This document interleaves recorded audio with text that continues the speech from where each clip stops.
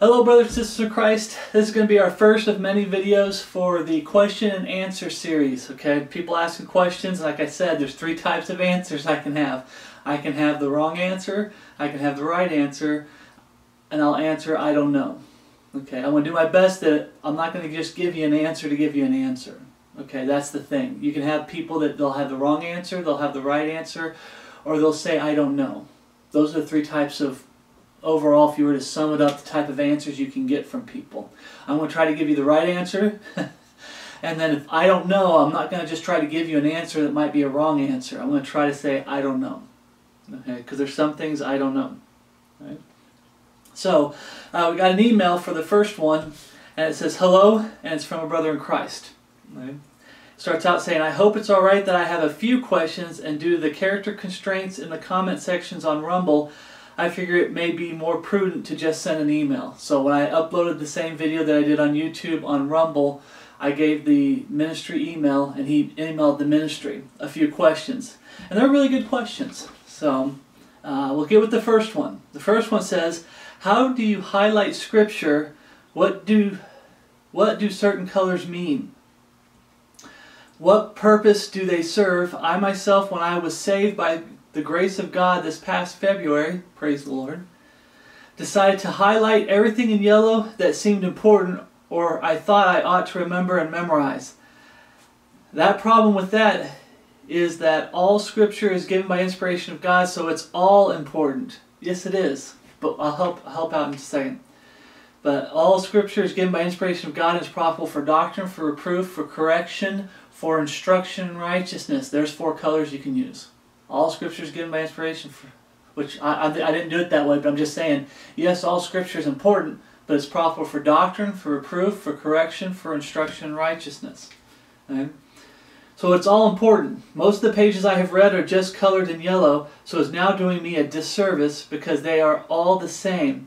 How do you highlight? Okay? I'm going to go through some of my books, uh, Bibles that I have.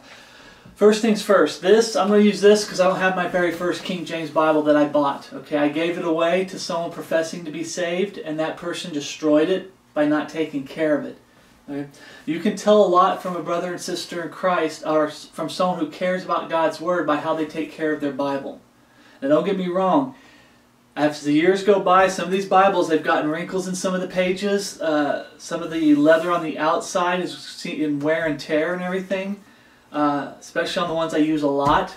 But you can also tell if someone's even using their Bible by how much the by the layer of dust that you find on their Bible. Okay.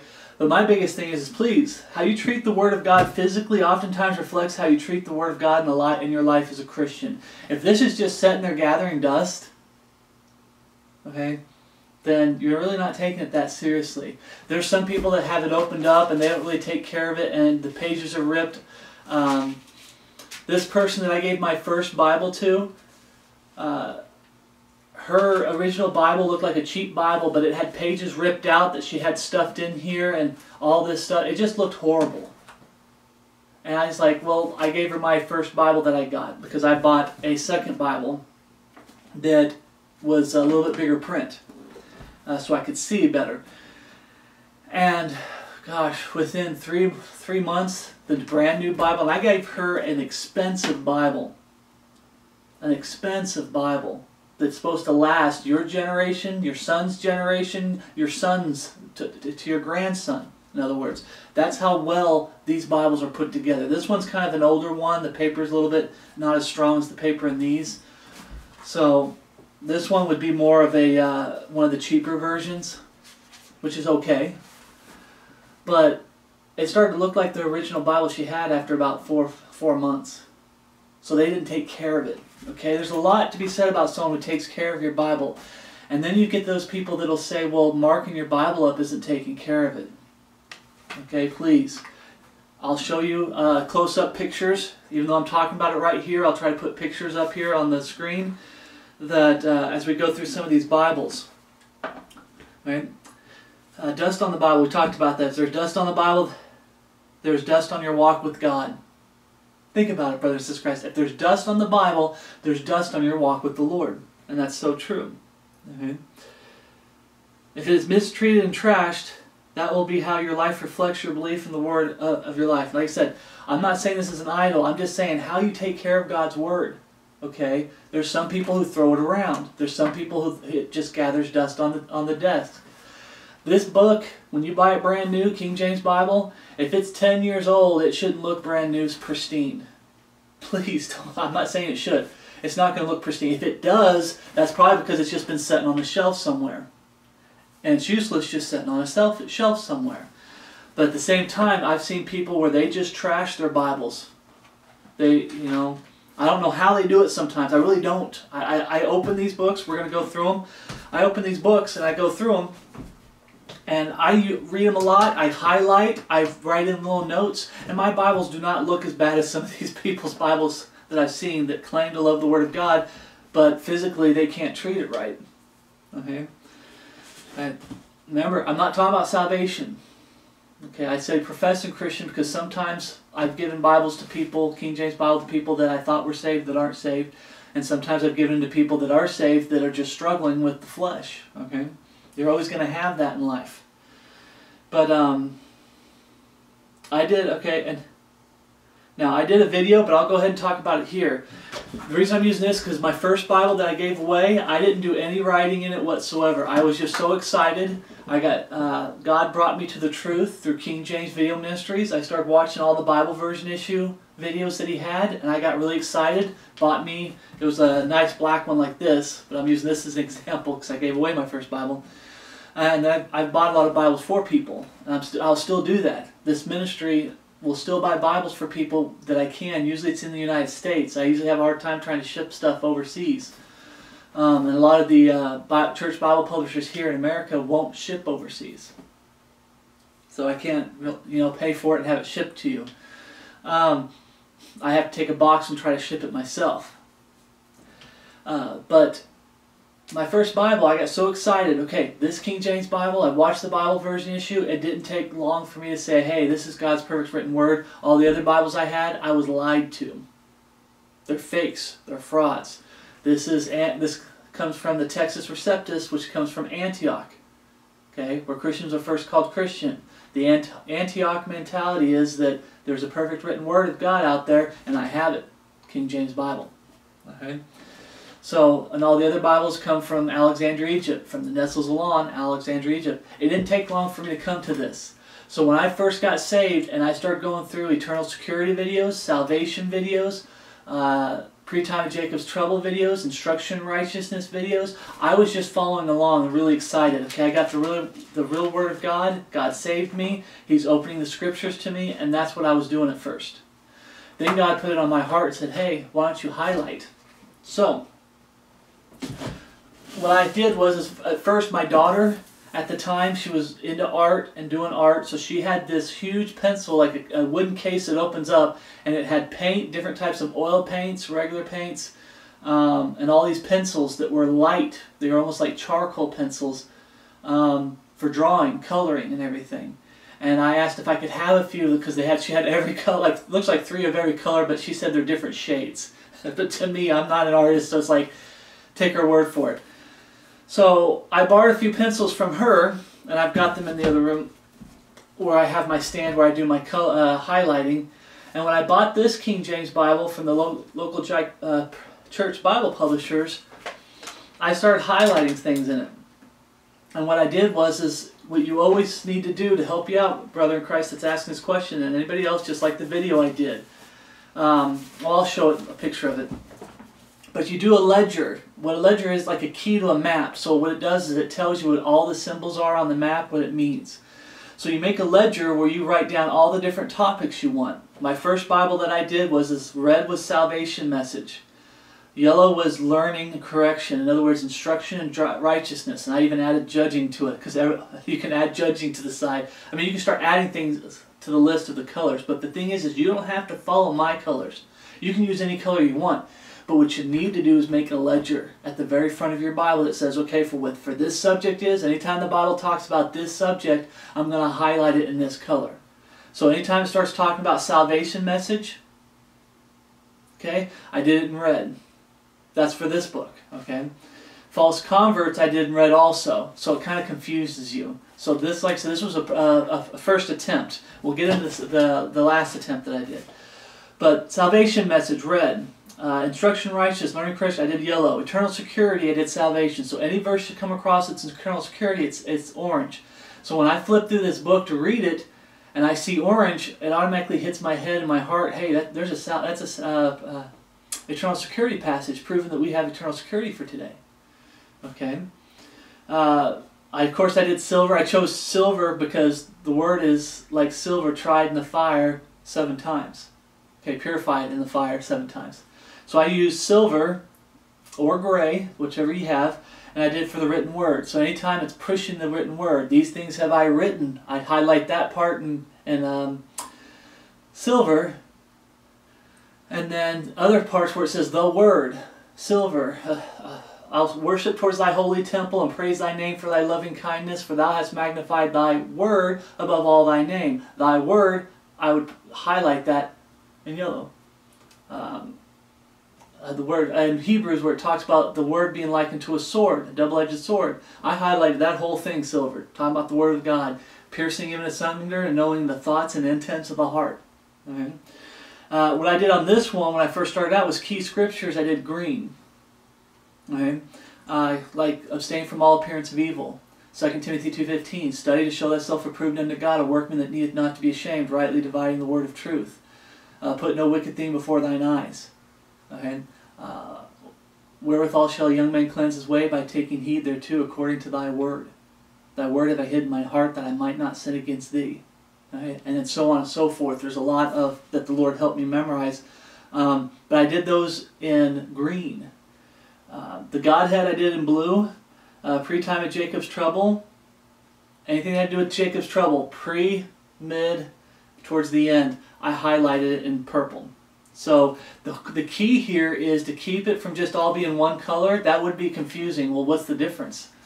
Um, but you make a ledger at the very front of your book, of your Bible, and you don't even have to write in the Bible. If you want to do a piece of paper and do a, a ledger on the piece of paper and put in here, but you might lose the piece of paper. So you have a lot of blank white pages at the very beginning of the Bible. Pick one and build and make yourself a ledger and make sure you have all the pencils. Um, so I'll go back to the pencils. Uh, I don't know if I can open this, but what I recommend here, it says that it is the premium color pencil set, 48 color pencil storage case sharpener. Um, the biggest thing that you look for when you look for pencils, color pencils, it says soft and smooth application. You want soft color pencils. And when you feel the tip, it just, it just feels soft, like uh, chalk. Okay? That's what you want because that won't damage the pages, won't be ripping through the pages or anything. Because um, with the, uh, so you, that's what you want there. So color it, free your creativity is the brand that I bought. But this has tons. It has 48 color pencils. And I only pulled out, when I get this one, I'll show you this one. Um, I think I'm using 12 colors maybe now that I've upgraded and said okay Lord I don't want green for uh, uh, um, when I first started out there was scripture I needed to memorize. And then I kept adding scripture and adding scripture. But instead of doing key scriptures in green I took that out completely and said okay we're just gonna really try to separate all the different topics as much as we can. There's no perfect way to do it. There's no 100% right way to do it. You just pick out some topics and you pick out colors for those topics and you make the ledger at the very beginning. But make sure it says soft and smooth application. Um, this is actually a case, if I can ever get it open. It's a black case that came with it, and then it holds all the different pencils in it. So there's still tons of different pencils, so if I want to do a second Bible, I can just pick different colors and do another Bible. Okay? Um, I do it because when you highlight, you spend time reading the passages that you're highlighting. The colors determine what the subject's about, and it's just, it's what helps me. Okay. Now, this one I bought.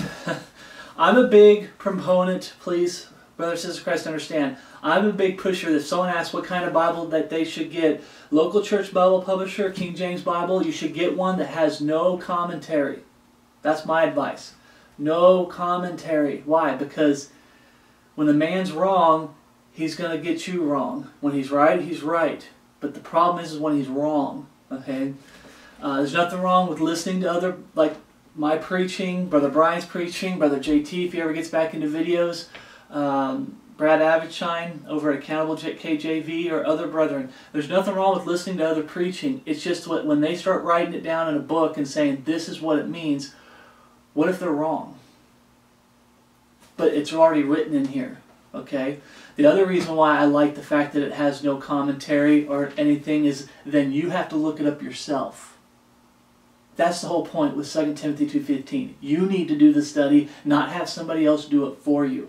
Now don't get me wrong, in this bu book right here, as I'm going through, I'm writing in passages like, ver um, let's see if I can find one. I did it with Revelation a lot, where I wrote in a lot of passages where it said, hey, this verse over here helps reflect this verse. Um, uh, Revelation chapter 2, verse 11, says, He that hath an ear, let him hear what the Spirit, since it's a capital S Spirit, I colored it in uh, blue, because blue is the Godhead. I still kept blue. And it says, saith unto the churches, He that overcometh shall not be hurt of the second death. I highlighted, He that overcometh shall be hurt from the second death with green. So instead of using green for uh, key scriptures like I did in the first book, God put on my heart to use a color for different dispensations. So this says, Overcometh shall be not hurt of the second death. I don't have to overcome. But people in the time of Jacob's trouble does. So then I wrote in here Revelation in pencil, just a pencil, Revelation 20, uh, 14. So you go over there and you see it again where it's pushing, hey, there's works in this time of Jacob's trouble. It's a different dispensation. It's a different plan of salvation. Faith and works. Okay? Um, so you can do that.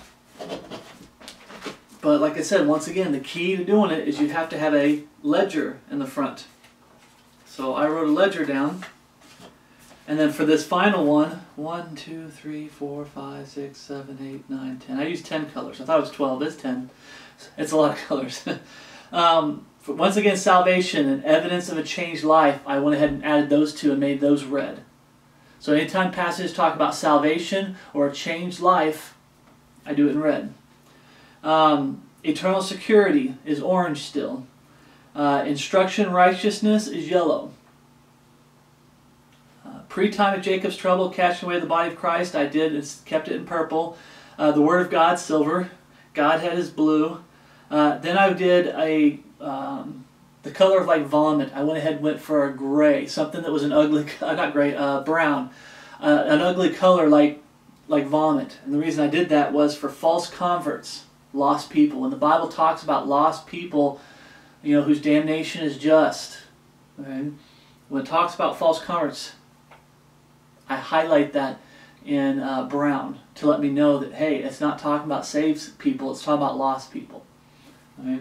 And then, of course, dispensation and rightly dividing, I did green. So anytime it's a different dispensation. Uh, in Genesis, I highlighted um, the command that God gave uh, Adam and Eve not to eat from the tree.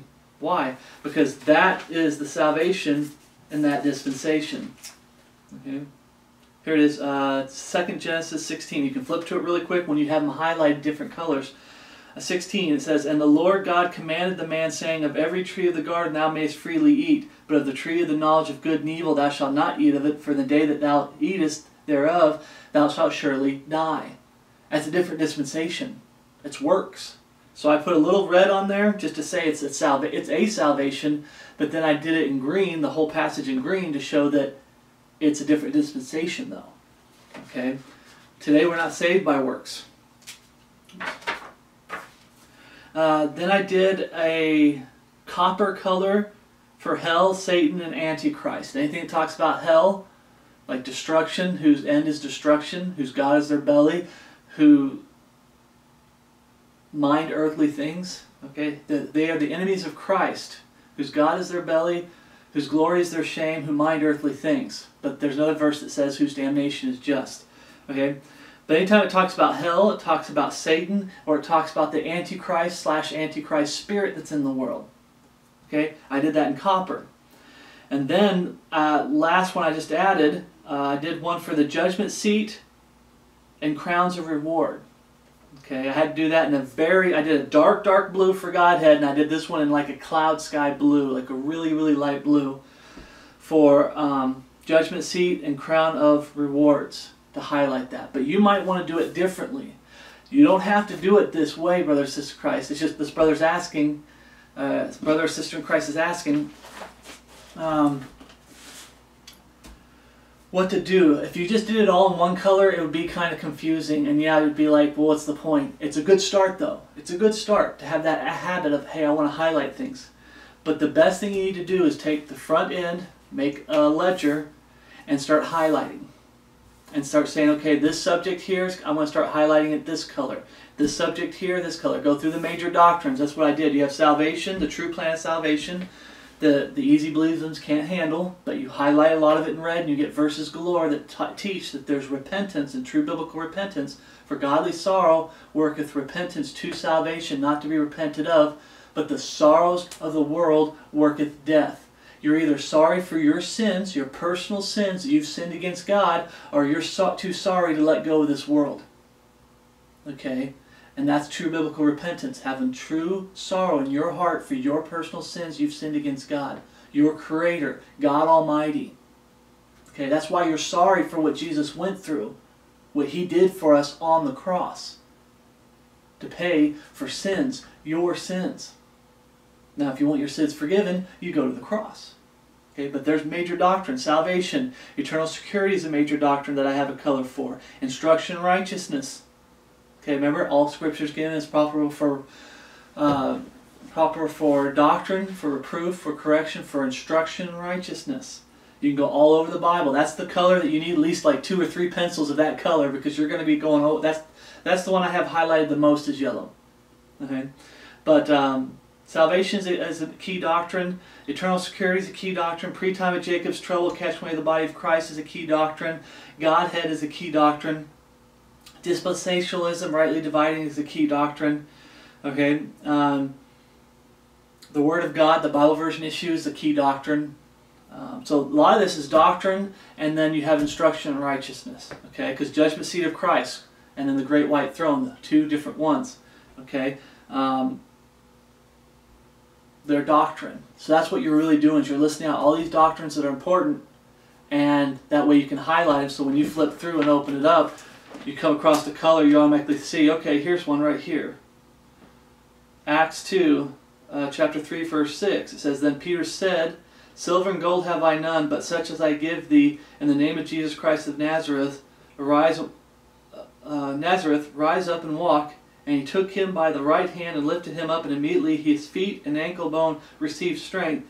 And he, leaping up, stood and walked, and entered in with the with them into the temple, walking and leaping and praising God.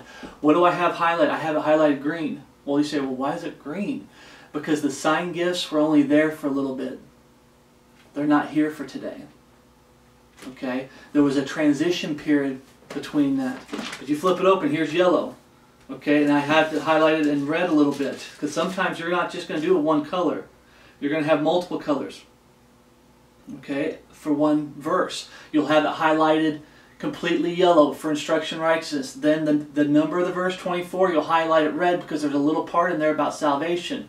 But you've already highlighted it yellow, so then you can put a little highlight over the number 24, like for verse 24, and then you find out, well, there's also something in there that talks about a false convert. So then you can draw a box around the whole verse of brown. So now you got brown, red, and yellow. So it talks about salvation, it talks about false converts, it talks about instruction and righteousness. So you can have three topics in the same thing. And that's how I've been doing it in this final Bible because this one is a huge print Bible and I love it for my eyes. Um, the paper isn't as strong though, but like I said, these pencils still work fine on this paper because the bigger it is, the, the lighter weight paper they use. It, the coloring pencil was works better on this, the medium size print because they put they use stronger paper On this one, the only difference is, is I'm learning how to, I have to do a box around the, the word or the, uh, the verse and then color it in because sometimes the black will bleed over a little bit, just a little bit. But it won't show once you get it done and get it really highlighted and everything. Then it doesn't show when you read. But when you're asking, I'll, like I said, that's what I do. Like I said, I get to Ephesus. I'll, I'll try to take some pictures. I've been going through the expository studies that Brother Brian did, and I have been just highlighting galore. And hopefully someday, this most of this book will be highlighted. And if it gets totally highlighted, which if we're here that long, it gets highlighted big time. People say, "What are you going to do?" Well, like I said, I've got tons more pencils here. I might buy another Bible and start over. It keeps the Word of God in your head, and it helps you keep it in your heart because you're not just highlighting something, you're trying to highlight it a certain color because it means something and you apply it to your life as a Christian. Alright? So that's what I do with that one. Oops. That's how I'd answer that question. Second question he asks is How do you re recommend I go about memorizing Scripture? Of course, as I read the Bible every day, I become more familiar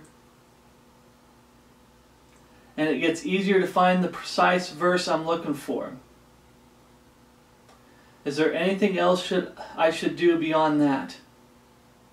Now, like I said, that's a little confused because there's memorizing scripture, and then you said, of course, as I read the Bible every day, I become more familiar, and it e gets easier to find the precise verse I'm looking for. As far as uh, I use on the computer, and I have, I didn't bring it out here, I didn't think to. Um, I have a concordance a book concordance, so you have paper that you can look for words and for, uh, look up stuff in the in the Bible where this word is used at in the Bible. The online programs are a little bit more advanced because you can do phrases and whole sentences, uh, not just word by word, uh, which is the old, the old way where you have to do word by word and really go through a lot more scripture trying to find the ones you want. Um, but there's that way as far as uh, looking through. But when you're talking about memorizing scripture, uh, when I leave the house, anytime I leave the house, I make sure to put a stack of my uh, gospel tracts that I have here.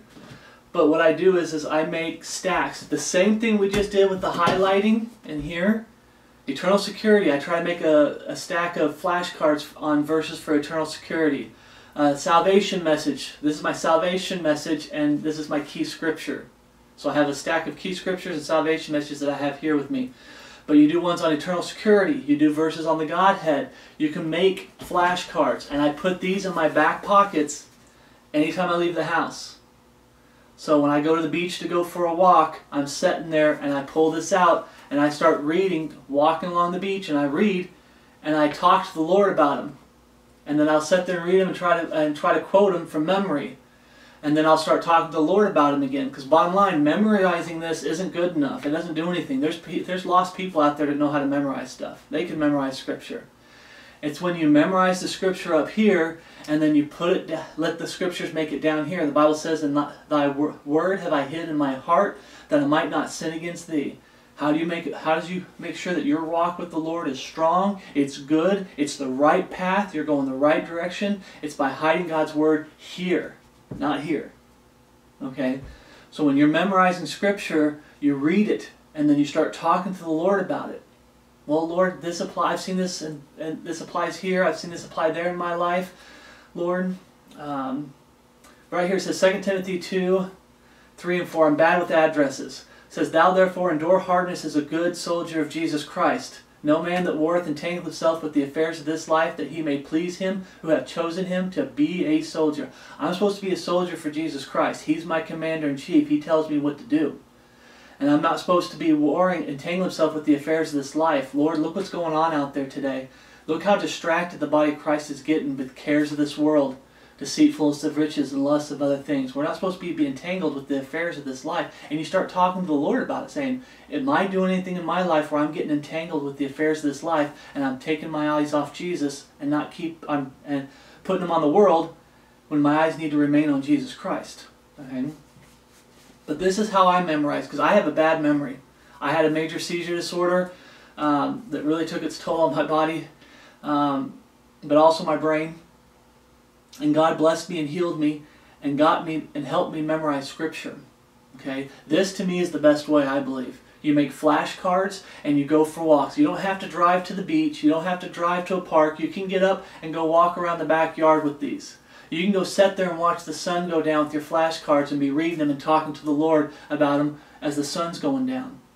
Let's say you live in the city, you know, you can sit inside somewhere with these and do the same thing. But you take time out with the Lord to memorize Scripture and talk to the Lord about Scripture, His Scriptures. Okay? This is what I do. Um, a sister in Christ uh, suggested these. It's the same thing as the flashcards, only it's on a three, it's on a ring binder, so they're a lot easier. You just flip it over, and then you flip it over, and then you flip it over. And it's all. This is your one booklet. You don't have to worry about like I use rubber bands and everything. This is all put together. And these was that was a good idea too.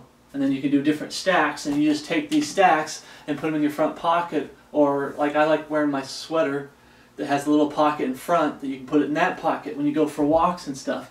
And you flip through it. I don't care what people think. This is a crazy guy on the street or on the beach. What's he doing? He's talking to himself. I don't care. I'm talking with the Lord. Okay? That's the best way to memorize Scripture. Read it constantly, like uh, the, the brethren here was talking about. Call, uh, constantly reading the Bible is going to help out too. Listening to Alexander Scourby, that helps out too. I sit outside, especially with the Old Testament. I listen to the Old Testament over and over, starting from Genesis, getting all the way to the very end. Okay? And back again. Just go back and forth. Start all over, go through it again. Start all over. And I sit and I listen to it. I try to plan out every winter sitting there with Alexander Scourby. And I'm, it's raining hardcore outside during the winters here. So I plan on sitting there with my Bible open and following along and reading it as Alex Scor- Alexander Scourby is reading it and that's helped me get through the Old Testament a lot. Um, so yes, constant reading is going to help, absolutely. But I found this way helps out a lot when it comes to memorizing Scripture. Right? So,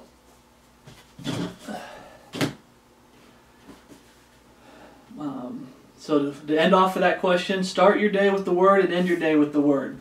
You're already doing that, but that's my advice to brethren too when it comes to memorizing Scripture. Start your day with the Word, end your day with the Word. Okay? Flashcards while walking and talking with the Lord. And, in other words, go for a walks and talk with the Lord through memory verses. Okay? I started out when I did my first, um, this thing was very short, wasn't this thick. Um, it started out with Brother Brian's uh, key scriptures every Christian should know. When I was newly saved, this is what I did. I watched that study, I paused it, and I wrote out every verse that he put on there and said, These are key verses to help you start out with. They're just to start out with.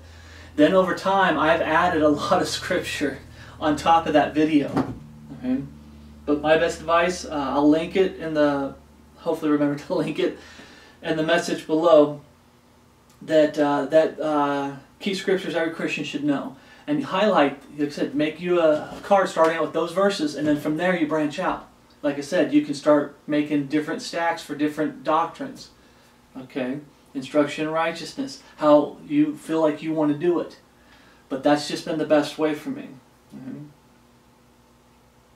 Uh, third question he asked How persistent should I be with sharing the gospel and other key matters with family, with my family?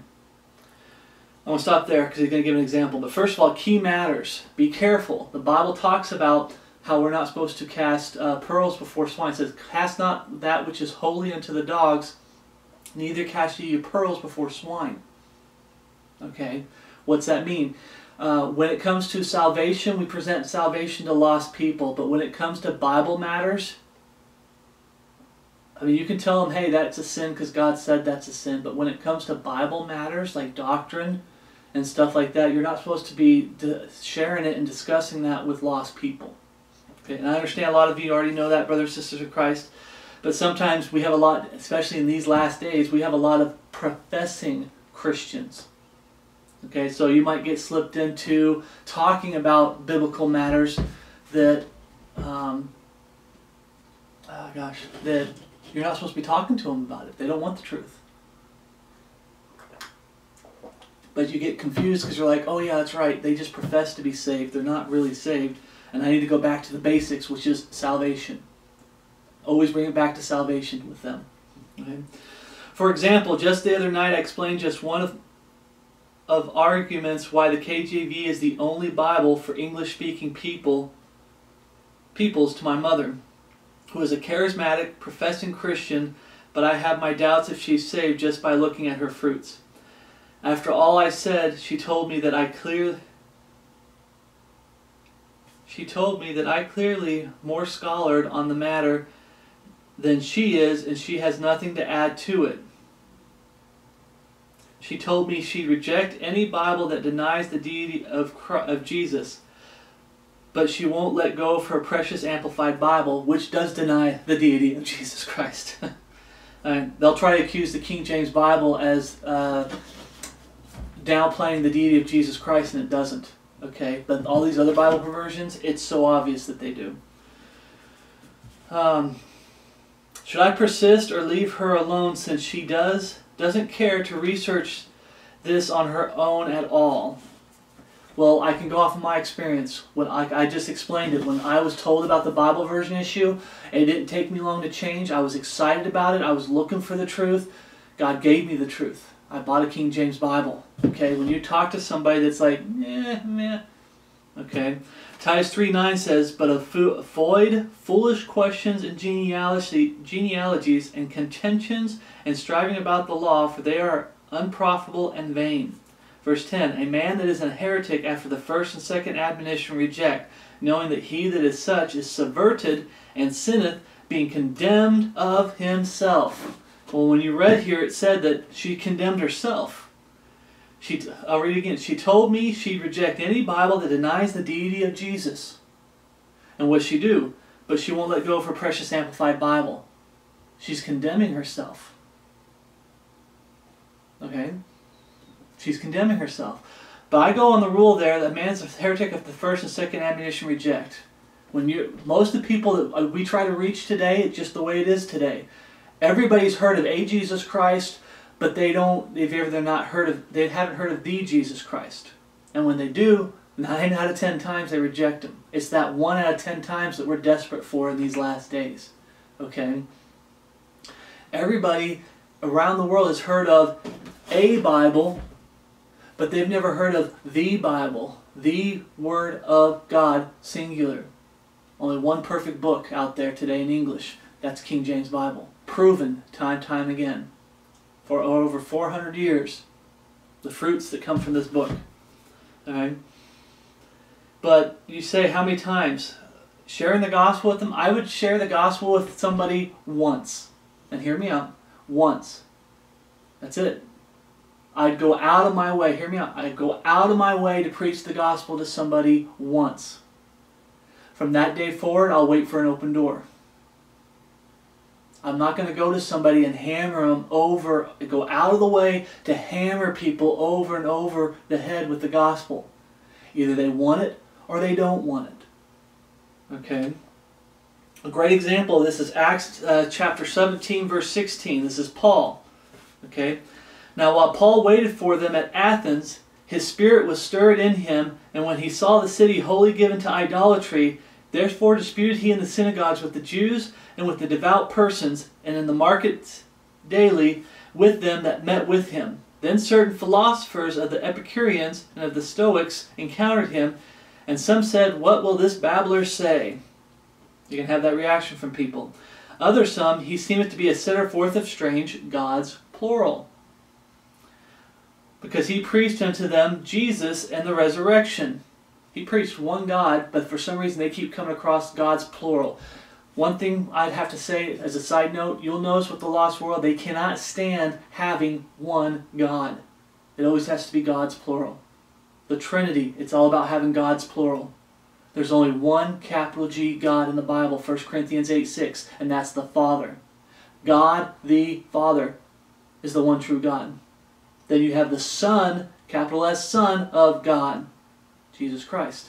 You have the capital S Spirit of God, the Father and that's the Holy Spirit. There's only one capital G God, but for some reason this world cannot handle having one God. They just can't handle it.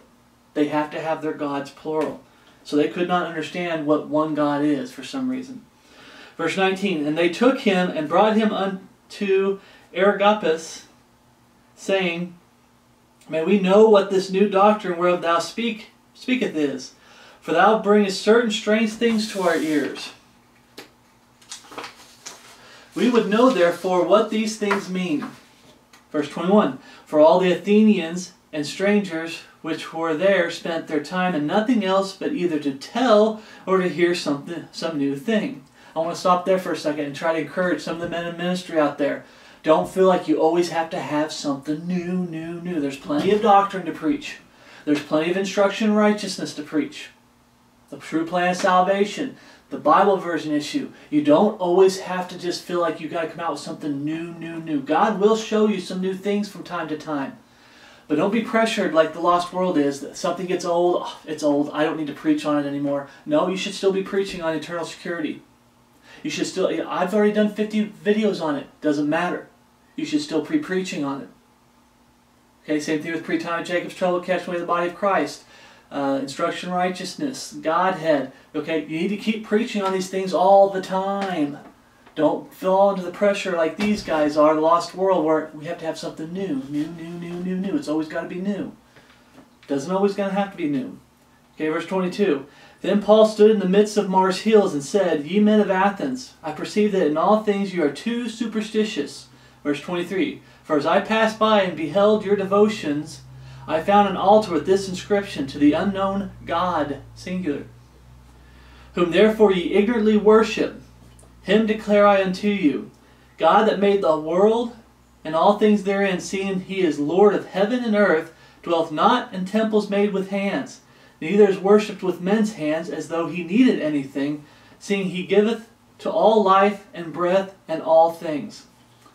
And hath made of one blood all nations of men for to dwell on the face of the earth, and hath determined the times before appointed, and the bounds of their habitation, that they should seek the Lord, if haply they may feel after him, and find him, though he be not far from every one of us. That's the key there for this brethren here. Okay? That uh, are they seeking truth? Do they want truth? Are they seeking after the Lord? Or are they just brainwashed and going the way of the world, like for false converts? They're just so brainwashed and going the way of the world and so flesh driven. The Bible says carnally minded and walking after the flesh, that's someone who's lost. A Christian is never going to be carnally minded. They'll have acts that might be carnal. They might have they're still going to have sin in their life. They're still going to fail the Lord from time to time, but they're not going to be carnally minded. Okay? When they start when you before I got saved and I started seeking the Lord, he started showing me truth. Why? Because I was seeking him. If someone's not seeking him, they don't care about truth. Okay? Verse 28 For in him we live and move and have our being, as certain also of your own poets have said, for we are also his offspring. Forasmuch then as we are the offspring of God, we ought not to think that the God is like unto gold, or silver, or stone, graven by art and man's devices. There's still people out there who do drawings and everything, okay, which is a sin. What's the image of the Godhead? Jesus Christ. Are we allowed to draw images of Jesus Christ? Absolutely not. We have all these actors. I'm going to play Jesus Christ. It's blasphemy. Okay, it's satanic and it's wicked. Verse 30.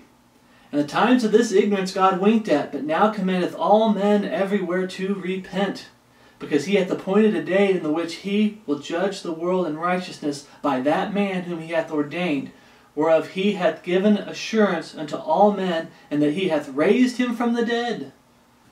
Remember what I talked about in some of my other studies, brothers and sisters Christ? No change life, no change life gospel is a resurrectionless gospel. The old man is supposed to be dead and buried with Christ, crucified with Christ. God gives you a new life. The new man comes up and is raised with Christ. There's no resurrection in your life. There's no new birth. You're not a new creature in Christ Jesus. You're not saved. You, you believe with the life that you're living, you believe in a resurrectionless gospel. He's preaching the resurrection. Verse 32 And when they heard of the resurrection of the dead, some mocked. Others said, We will hear thee again of this matter. So Paul departed from among them. Howbeit certain men clave unto him and believed, among the which was Dionysius the Areopagite, and a woman named Damaris, and others with him, with them. Sorry. So there's the three responses you're going to get. I believe you, you try twice.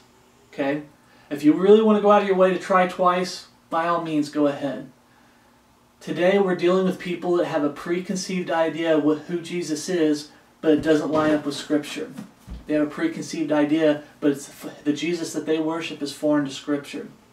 The King James Bible, Scripture. Okay? The Jesus they worship is an Antichrist. It's an Antichrist spirit deceiving them into believing that it's Jesus. Okay? But you're going to have three reactions. You're going to have people who mock you. I've had people mock me. I still have people to this day make videos mocking the Word of God. They think they're mocking me, but they're mocking the Word of God.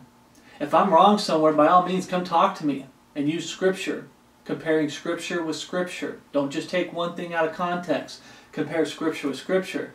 But I still have people to this day that still mock me. They can't handle truth. They can't refute truth. In other words, they can't prove me wrong with the Scriptures, so they just mock me. That's not something Christians should be doing. We shouldn't be mocking as Christians. That's something the lost world does, not Christians. That's something God Almighty, who is the only one that has the right to do it, is going to be doing. We're not supposed to be mocking. But that's one of the reactions you're going to get. Someone mocks. Someone will be like, well, it sounds good, but I'm not ready yet. I'll hear thee again of, that, of this matter. What did Paul do? I said this in other studies. What did Paul do? So Paul departed from among them. He didn't sit there trying to hammer him. No, you got to get saved. No, I got to tell you this again. I got to tell you this again. I got to tell you. This. No, he departed. He told him once, and he departed. The third reaction you're going to get from people is they believed. You're going to get people that you're going to lead to the truth. Praise the Lord. And give God all the glory. But those are the three reactions you're going to get. How forceful should you be? I believe you should go out of your way once. Maybe later down the road, you'll go out of your way the second time. But after that, it's between them and the Lord. Now, I don't that's you going out of your way to get in front of them to preach the gospel to them. I'm not talking about doors. You might have preached it twice to them, but God might they might come back later and God opens a door and they start asking you questions. Those people that says, "We'll hear thee again of this matter," they might come back to you three months down the road, a year down the road, and start asking you questions about Jesus, about the Bible version issue, and that's an open door. That doesn't count as the two. I'm talking about he that is a heretic after the first and second admonition reject. When you try to preach truth to, to these false converts and to the world as a whole, okay, Paul because people say, well, that's only people that are heretics. Okay, someone who says there is no God, that's a heretic. Okay? Uh, all these false religions out there, they're heretics. Okay? That's why we use that verse.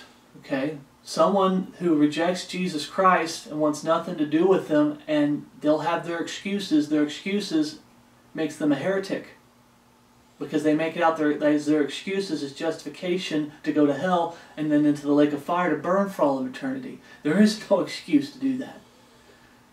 So two times, okay, is the most I would do.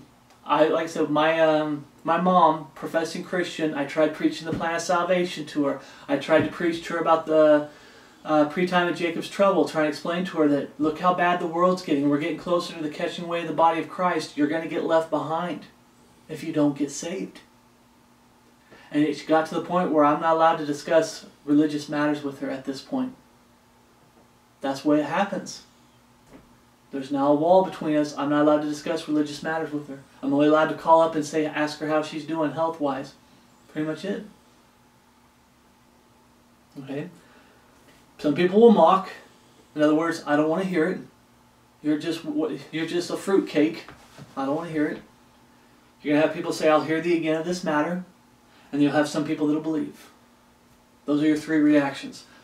But you're not supposed to waste your time trying to cast pearls and um, that which is holy. When you talk in the Bible about holy, you know what holy is? It's God's commands. The holy commandments of God. That's what holy is. When Jesus said, Be holy as I am holy, Jesus, when he came and walked in the likeness of sinful flesh, he was capable of sin, but he never sinned. he obeyed all of God's commands. Be ye holy as I am holy. You're not supposed to cast that which is holy into the dogs. The Lord says this, the Lord says that. There's no point if they reject Jesus Christ. Okay, we preach the plan of salvation. You're going to go to the, the Lord's God says that you're going to go to hell and burn for all eternity if you die in your sins. You've sinned against an almighty righteous God. You're sick. Okay, that sickness is sin. You do that.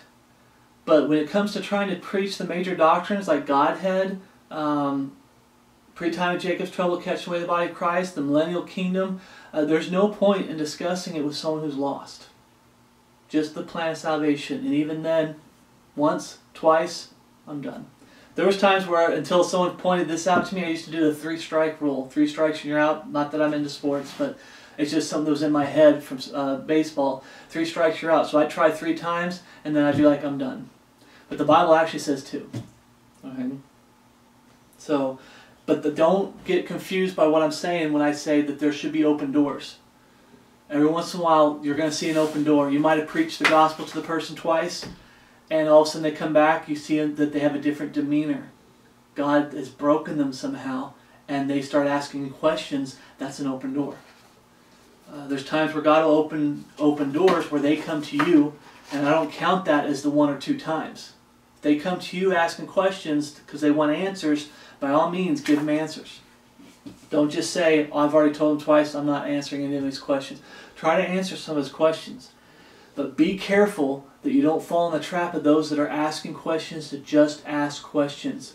They're trying to mess you up. They're trying to get you to turn away from the Word of God. They're trying to get you to doubt His perfect written Word. You need to break that conversation off and say, I'm done. There's a difference between someone asking a question, one or two questions, and saying, Oh, that's good. I'm going to go think on these things.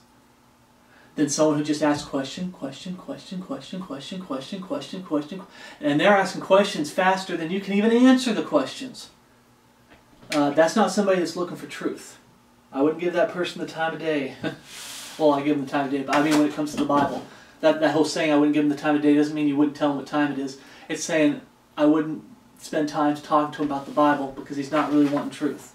He's trying to find a loophole. He's trying to find out, he's trying to get me to be wrong, which I can be. And the moment he finds me wrong somewhere, like I don't have the answer for everything, he uses that or she uses that as justification to ignore everything. That's those types of people that ask questions nonstop. They're waiting to find a loophole. They're waiting to find a question that you can't answer, so then it disproves everything you said, and it doesn't. It's it's it's madness. Okay, double-minded man is unstable in all his ways. The Bible says. So be careful about those people. But that's how I'd answer that. Once or twice, and those are the three types of reactions you're going to get from people when you try to preach truth to them. Okay? Uh, the fourth question he asks, he I say he, but I forgot to put the name down. So if it's a sister in Christ, please forgive me. I didn't put the name down on the on the notes. I just want to say brother in Christ or sister in Christ. Right? Brethren. But the fourth one, it says, You said in a prior video that sometimes you struggle with and eventually overcome, overcame was the sin of porn, pornography. I too struggle with it. I am quite certain now that by the grace and mercy of God, I've permanently overcome it. My problem is that even after overcoming it and not looking for it anymore, it clings to my mind still in my dreams and in my thoughts. All of a sudden I'll all of a sudden it'll all just come back to me even now. The wicked things I saw rush back to the front of my mind. Do they ever stop? That's the question mark. Do they ever stop? Okay. The Bible, if we get to it, yeah, it's down here. We'll get to some verses in the Bible and I'll answer that. The answer is no. Why? Uh, you can try to drown it out with truth. Where you spend most of your time, that's what's going to be on your mind, and that's what's going to be in your heart. When God gets the sin and the bad addictions out of your life, you drown it out with good things, good addictions. This being the number one addiction, the Word of God. Okay? But how wicked this world is, um, I'm getting ahead of myself, but uh, someone said, I have it down here, I'll have to repeat it again though. We will have to bear the scars of our sins in this life. The Bible says, abstain from all appearance of evil. There's a reason for that. You get wicked stuff up here, it's hard to get it out. And it, there's times where I'm like, I think I got it completely out. I don't even think about video games, movies, Hollywood movies, TV shows, or porn. And somehow something, just out of the blue, something reminds me of it, of any of those sins or any of those addictions. You go into town, you see immodestly dressed women. Any kind of thing could just try to bring that back. It's going to be a constant struggle to the day you die, brothers and sisters of Christ. There is no um, get, God gets the sin out, and then I don't even I don't have to struggle with it anymore. You're going to be struggling with it to the day you die. Okay, but we're going to get to some scriptures to help us with that. Will they be taken away before the great white throne judgment? Remember, the judgment seat of Christ. There's two throne judgments. It's the same throne. It's just different time periods. The judgment seat of Christ is going to happen at the catching away of the body of Christ during the time of Jacob's trouble. I believe that. Okay.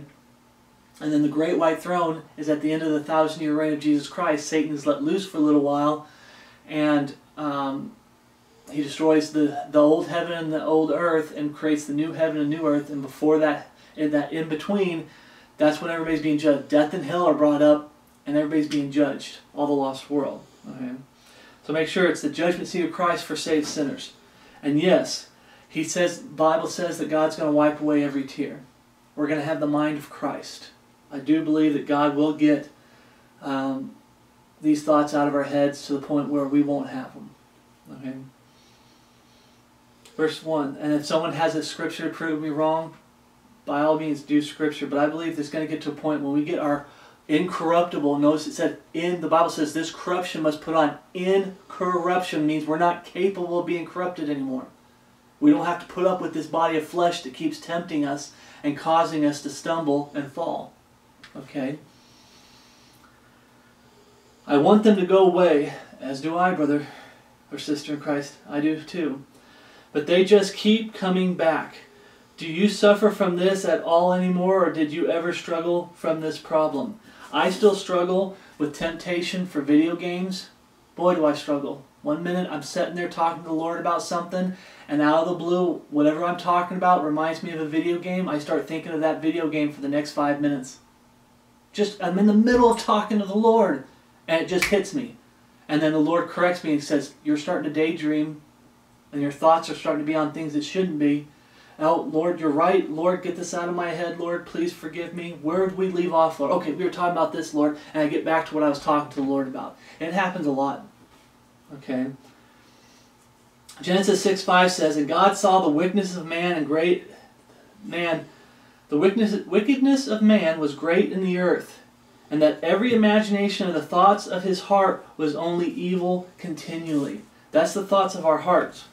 When you're lost, uh, if you got saved when you're young, praise the Lord. If you got saved like me when you're older, there's a lot of sin you put through this brain of yours. Okay? Uh, that you didn't abstain from all appearance of evil. But the imagine of the, uh, the thoughts of the heart was only evil continually. Why do I read this verse?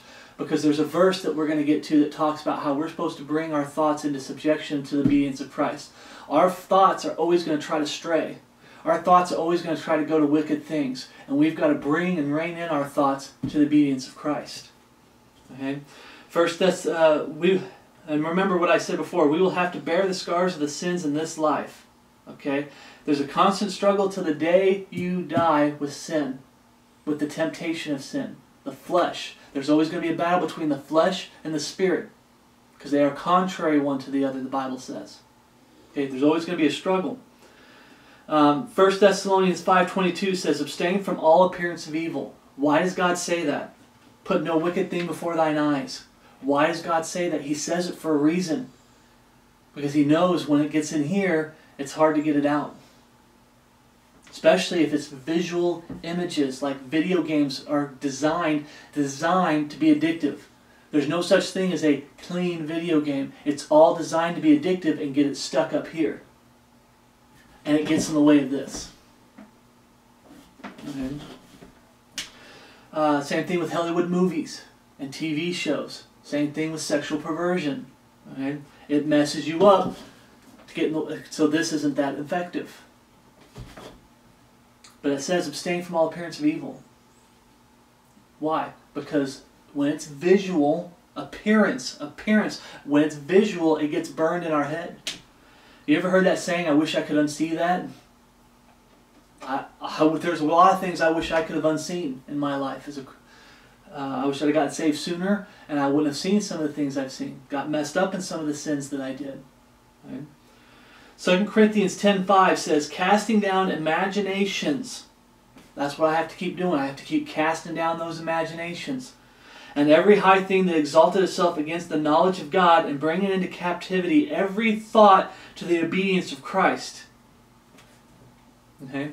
And having in a readiness to revenge all disobedience when your obedience is fulfilled. I like reading that one because it's talking about the catching away the body of Christ. When our obedience is fulfilled, we get caught up. This corruption must put on incorruption. This mort- mortal must put on immortality. Okay?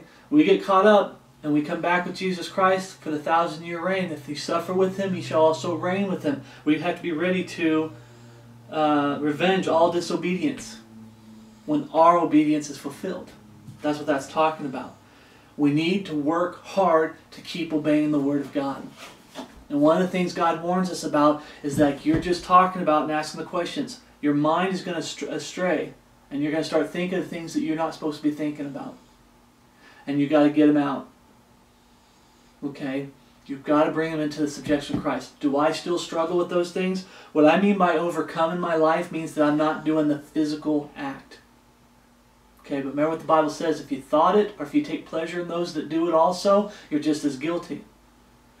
But the point is when we say, a lot of us brethren say that we've got it out of our lives, God's got, not us, God's got it out of our life, we're talking about the physical act. But that temptation still always keeps creeping in all the time. Tries to sneak in when you least expect it. I'm, like I said, there's times I'm in the middle of praying to God, talking to the Lord, and I start thinking of a movie, and I start going through the whole movie in my head, and I just start going into imaginations for the next five, ten minutes, and the Lord's like, stops me. Did you see what just happened there? I said, Lord, you're right. I don't know how that happened. Please forgive me, Lord. What we were talking about? Okay, yes, we were talking about this Bible study. We were talking about this going on in the world. And we get back, I get back to talking to the Lord. That's why the Bible tells us, even with our thoughts, we have to have the same attitude of denying ourselves, picking up our cross daily, and get back to where you left off talking with the Lord. Back to following Jesus Christ, okay? What helps me when these thoughts come in? Talking to the Lord, praying to the Lord, okay? Singing hymns is a big one. That's why I brought this right here. I've got this, I had to throw away two hymnal books because they had bad songs in them that were Antichrist spirit songs. Um, so I find one that I think has some good hymns in it. But I really, what I like to do instead of trying to hunt down books, book hymnals, I like printing out hymns, old hymns that I've tried by the Bible, tried by fire, the fire, tried with the Word of God, and they they are biblical hymns, and I type them up, and I. Uh, have them sitting here beside my bed, and I'll take them. I'll go sit outside and sing to the Lord sometimes outside. You can take them and go for a walk and sing to the Lord. Uh, you start memorizing hymns and have this. I, I try to sing a hymn every other night or almost every night if I can. And if I don't forget to sing a hymn, just as I read my Bible every night. The other thing is reading the Bible. If you start getting tempted, read the Bible. Do some hymns.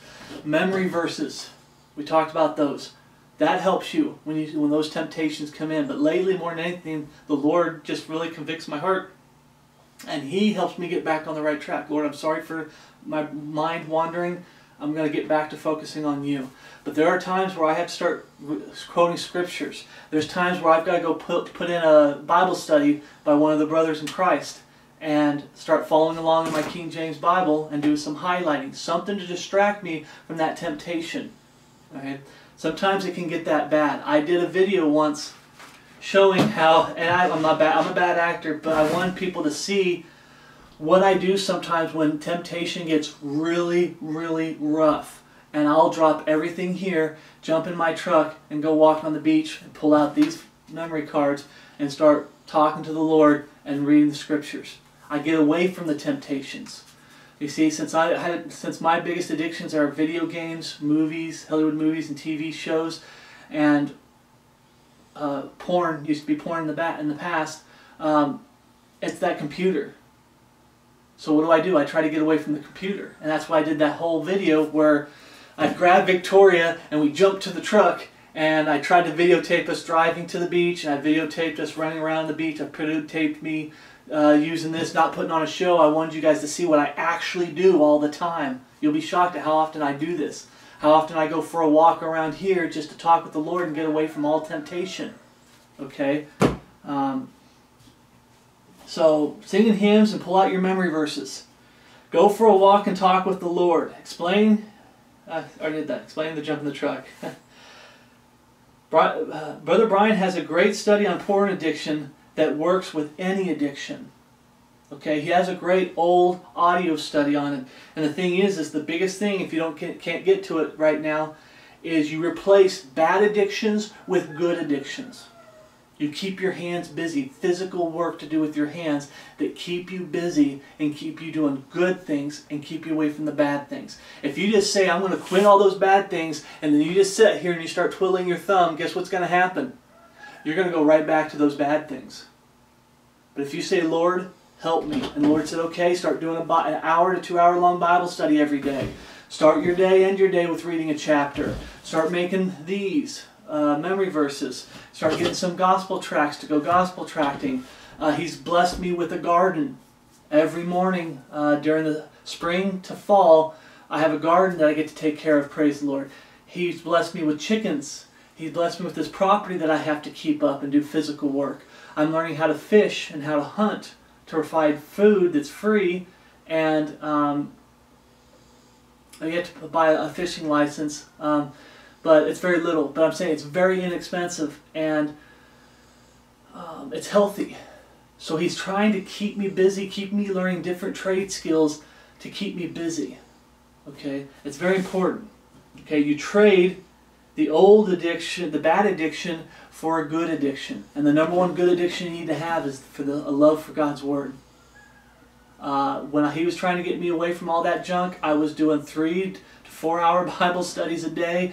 I was going for walks, and Lord really had to smack me upside the head to say, hey, you need to start doing some good uh, addictions that you can give God glory in and give God thanks in. Gardening, growing your own food, absolutely. You give God thanks for that. The chickens, eggs, taking care of them, absolutely. You can start learning woodworking, uh, trade skills, you know, uh, contracting, stuff like that, that keeps you busy.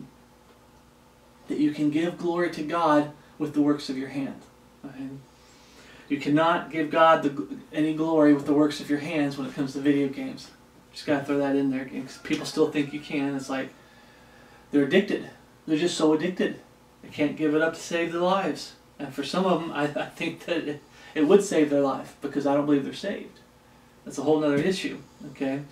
It's not that you have sin in your life that makes me think people are lost. It's their attitude towards sin that really get to me and break my heart. Because I want them to be saved. I don't go looking into somebody wanting them to be lost. Okay, if anybody's ever said that, they're lying. I never go into looking at somebody who professes to be saved saying, I hope they're lost, I hope they're lost. That's not it.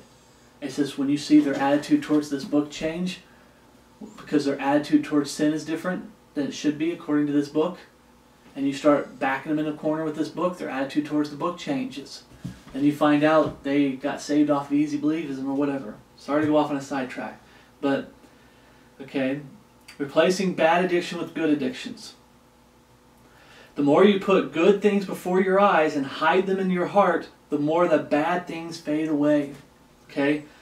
They will still appear from time to time. Like I said, they fade away. I don't get tempted by video games all day, every day anymore. God's got a lot of it out. I get tempted probably once or twice a week now. Something will get me to remember a movie or a, t- a video game or something. And mainly if I'm sitting there idle, that's when I start getting the temptation when I'm sitting there being very idle, not doing anything. All right? Proverbs 23 23 says, Buy the truth and sell it not. Buy the truth and sell it not. And people like to end there, but there's more to that verse. It's very important.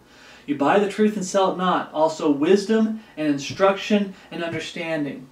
In other words, you buy the truth and sell it not. You buy wisdom and sell it not. You buy instruction and sell it not. And you buy understanding and sell it not. Wisdom is not the same thing as intelligence. Somebody can memorize this book verse by verse, and that's very. They're very intellectual, but they don't have any wisdom because they don't know how to apply this to their life. Okay? Wisdom is actual life application. Buy wisdom and sell not. You can only get wisdom as if you start working. You want to be a great carpenter? You need to start working with wood. You need life experience. You want to be a good gardener? You need life experience. You want to be a good person with livestock? Whatever. You need life experience. If you want this to work in your life? Then you need to start applying it to your life so you can start having life experience. That's why the Bible says, Thy word have I hid in my heart that I might not sin against thee. You hide God's word in your heart, that means you're doing your best to apply it to your life. And you start getting life experience. The Bible says, I can do all things through Christ which strengtheneth me. It's through Jesus Christ and His perfect written word that God gives us the instructions on how to overcome sin in our life. And gives us the strength to overcome sin. I'm not capable of doing it on my own. And the same thing with instruction. Okay, people are given instructions. I've, I've had times where I've told people, hey, this helps you. Make some flashcards. It helps you with sin, to fight sin. And they keep calling me up every week. Oh, I failed the Lord again. I failed the Lord again. I said, did you make that flashcard? Oh, no, I haven't really made the flashcards yet. I'm like, are you reading your Bible every day? I'm like, well, sometimes. I, it's like all these instructions I'm given that God showed and proved in my life it works. I'm a testament. I have a testimony that it works, if I can say it right. And yet they, they, they don't, they're not taking my instruction. I've seen that. For it to work, you got to take instructions. Buy instruction and sell it not. Buy wisdom and sell it not. Okay? Buy understanding and sell it not. Remember, the fear of the Lord is the beginning of wisdom. When you fear the Lord in your life, life application, you will get wisdom. But knowledge of the holy is understanding. He's given you a perfect written word of God, King James Bible. Take it or leave it. A lot of people say leave it. So you can have understanding. He's given us his word so we can have understanding. Okay? The fifth question he asks, okay, that's what I do. You start getting temptations, they come in, you've got to get them out as fast as they come in. Bring your thoughts into objection to the obedience of Christ. Memory verses hymns. Okay? Memory verses, hymns. Get away from whatever that temptation is. Go out and go for a walk. Talk with the Lord. There's times, brothers and sisters of Christ, that it was pouring down rain and I was being tempted really bad that I just grabbed Victoria, my miniature Schnauzer, and I jumped in the truck and I drove down to this spot where you can pull and park really close to the ocean and I cracked the window so you could just hear the ocean because with the rain you really can't see much through the windshield. I cracked the windshield window so I could hear the ocean and I played some Bible studies on my little tablet that I've got. I played Bible studies and sat in the truck and I spent most of the day sitting by the beach while it's pouring down rain in a truck because I wanted to get away from the temptation here. Because that computer's right there. The internet can get you in so much trouble. There are times where you're going to have to do that. Doesn't matter how great of a man of God you people think you are, you're still going to have to do it to this day. You're going to have to get away from the temptations and get out and go for a walk. All right? People always wonder why I spend most of my days outdoors during the spring, summer, and fall. I spend all my time sitting on the deck. I eat my breakfast on the deck. I eat my lunch on the deck. I eat my dinner on the deck. I sit out there and listen to Bible studies on the deck. I talk with the Lord on the deck. I listen to wordless music so I can pray and talk with the Lord out loud. I listen to Alexander Scourby while sitting on the deck. I watch the sun go down. Why do you spend so much time outside? Because I want to stay away from that computer. I want to stay away from that temptation. If I had a house church, I keep praying, praying. If I had a house church here, I don't know if I would do it. I'd probably quit the internet. I'd, I'd let a brother in Christ that doesn't have the struggles that I have um, can do audio studies and put them online by all means. But if I had a house church here, you know, 10 people that shows up once a week to listen to the Word of God, and we have different men preaching, um, I don't know if I'd spend much time on the, compu- on the computer as I do. I just, it's just a big temptation. When you're looking at someone who's a huge gamer, and uh, online games and all kinds of stuff, it's an addiction. And you've got to stay away from anything that will tempt you into those addictions. Right?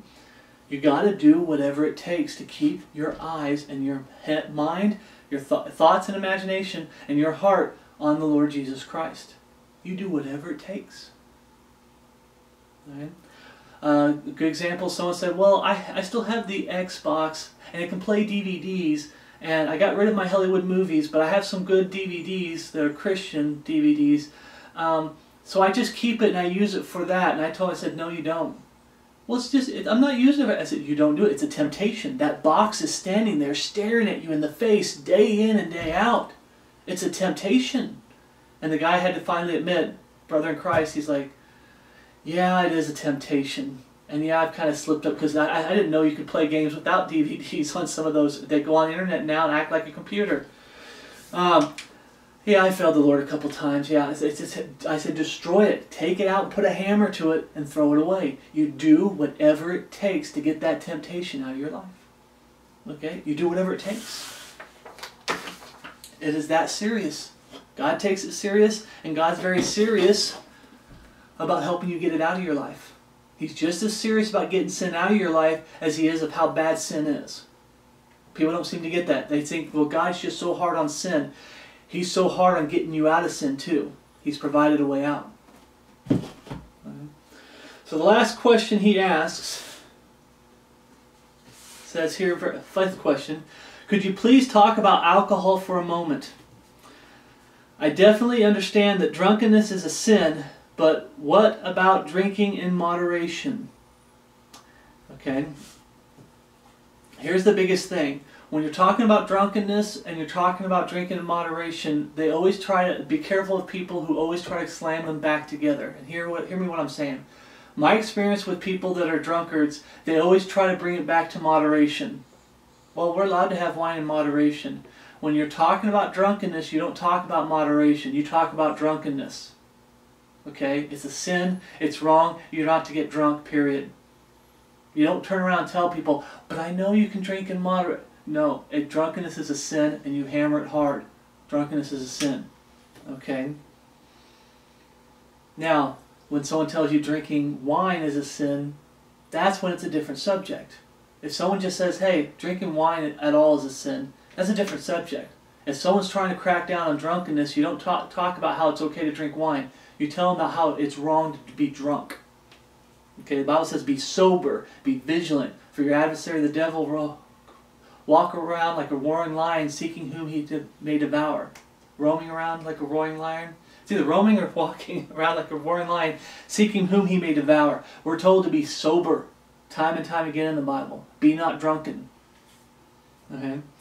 Especially for health benefits, whether for for a remedy, like in 1 Timothy 5.23. If it was sinful to drink at all, then it wouldn't be of use to the body, and Paul certainly wouldn't be telling Timothy to drink it. Okay? I do find it interesting that obviously Timothy was abstaining from it since Paul had to tell him to drink it. Okay? He didn't want nothing to do with it. That's a good point. Also, another verse of interest in Luke 7 33 and 34, for John the Baptist came neither eating bread nor drinking wine, and we and ye say he hath the devil. The Son of Man is come eating and drinking, and ye say, Behold, a gluttonous man and a winebibber, a friend of publicans and sinners. Is Jesus saying that he drinks wine here? Yes, he is. But we're going to get into that. Okay. What kind of wine is he drinking? That's the important part. People think wine automatically alcohol, wine, alcohol, wine. Is it wine that's strong wine? Because the Bible talks about strong wine or new wine. Or is it fermented grape juice? Okay, doesn't have alcohol. There's a difference in the Bible, but people don't like to point out that difference. Also, looking at the marriage at Canaan, John 2, chapter 2, verse 11, and saith unto him, Every man at the beginning doth set forth good wine, and when men have well drunk, not drunken, just drunk or drank, you know, like this tea right here. I can have tons of this tea and be well drunk, but I'm not drunken because there's no alcohol in this. It's uh, hot tea. It's mint tea. Praise the Lord. Um, And saith unto him, Every man at the beginning doth set forth good wine, and when men have well drunk, then that which is worse. But thou hast kept the good wine until now. Now, if the guy was drunk, would he have been able to tell the difference between the good and the bad? No. I, I can speak from experience. No. I'm not promoting this, but we used to buy the, when I was in the military, I got drunk several times. And they used to buy the expensive liquor, and then when they couldn't afford the expensive liquor, they would buy the cheap liquor. And when we had finished off the expensive, we'd buy the cheap, and you couldn't tell the difference when you do it that direction when you talk about drunkenness. We couldn't tell the difference. We're drunk. Okay? This guy could tell the difference. So is this wine that has alcohol in it? I don't believe it does. Right? That's the difference here. Okay? Being that the word is good, the word is good wine instead of new wine, doesn't that mean it's alcoholic and has fer- and has fermented? Remember, we're going to read a verse in here that talks about well, new. People say, "Oh, these guys are have new wine." There's a difference between new wine. New wine has two, two meanings, okay? Fermented grape juice or new wine is the alcoholic grape juice where it's wine is new. And if you ever heard the saying, because I'm getting ahead of myself, you need to let it breathe. It's new. You need to let it breathe. Okay, we'll get to that. Okay. But this says, good wine, and when men have drunk, when that which is worse, but thou hast kept the good wine until now. Notice it didn't say new wine said or strong wine. It said good wine. The stuff is amazing. I've had grape juice that's like the stuff you get from the stores that's like eh. And then I've had grape juice that's fresh, squeezed, made grape juice. And it's amazing. Okay. There's a difference. You can tell a difference. Okay. I've uh, neighbors taught me how to make apple juice. I bought apple juice from the store and it was uh, but when I learned how to make fresh apple juice, you boil it, you put can, you put it in jars, and then you put it in a steamer to steam it and seal the jar. When you go to open that jar later, and you go to drink that apple juice, I was like, wow, this is not like that junk that you get from the store. Not at all. Okay? You could tell a difference. That's all I believe is going on here. Okay? Because but Jesus isn't sitting there promoting drunkenness. I mean, think about it, brothers and sisters of Christ. He's not sitting there promoting drunkenness. He wouldn't tell us drunk, being drunk is a sin, yet I'm going to sit here and promote drunkenness at this wedding. No. He wasn't promoting drunkenness. It's just regular wine, fermented grape juice, non alcoholic, or not enough alcohol in there, period, because sometimes the fermenting process will leave a, such a small percent. It's just not funny. It's not even worth recognizing. It's not going to affect you. Okay. Last verse, Proverbs 31, 6 and 7. Give strong drink unto him that is ready to perish. I, a lot of people grab this and think it's just a, it's he's he's depressed. We're going to keep reading. And wine unto those that be of a heavy heart. Let him drink and forget his poverty and remember his misery no more. On the alcohol, okay, stop right there, because that's the verse. Okay, here's the thing. What does the Bible say about the time of Jacob's trouble? There's going to be men's hearts failing them for fear. I still believe this is talking about medically. Okay, well, how do you get that? You take a little glass, I'm talking about a little, like the smallest wine glass you can find, um, a little wine glass, I mean really small, it's like a shot glass on top of a wine glass, really small, of red wine for people that are having heart problems. Okay, men, talk about the time of Jacob's troubles, men's hearts failing them for fear. Okay, you're having poverty, you're going through hard times in life, and certain men, their hearts aren't doing so good. Well, here, take a little bit of this red wine when you before you go to bed every night. It'll help strengthen your heart and help you with your heart. It's a good thing. Okay, it's medicine. I believe it's talking about medicine. But people will say, well, this means that anytime I'm depressed, I can drink. What does that lead to? It leads to drunkenness. Complete and utter drunkenness. I've had my ex wife try to use both the verse up there about uh, Timothy Drink a little wine for thy often stomach's sake infirmities, if I can say it right. Um, I think I probably still said it wrong a little bit. And then she'll run to this verse here, Proverbs 31, 6, 7. Well, I was depressed, so that justifies drinking. That's not what this is talking about. This is talking about having a heavy heart, having so much stress of this world crushing in on your heart to the point where you're starting to have panic attacks and heart attacks. Take a little bit of the red wine, that'll help you with your heart so you don't have heart attacks. Okay? Little. okay? That's why it's talking about that when it says give strong drink. It's talking about the red wine for medicine. Same thing for the bot for the stomach's sake and furnace. I believe that's talking about the strong drink, the strong wine. Okay? Because the alcohol in there helps reset your stomach. And I forgot to bring it in here for this study.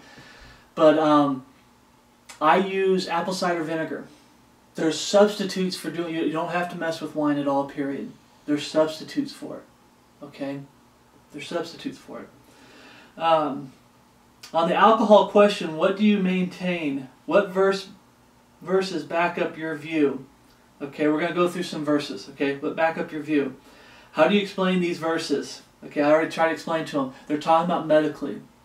Okay, uh, the Wild West, the reason people were taking shots, and a lot of them got drunk, started falling into drunkenness.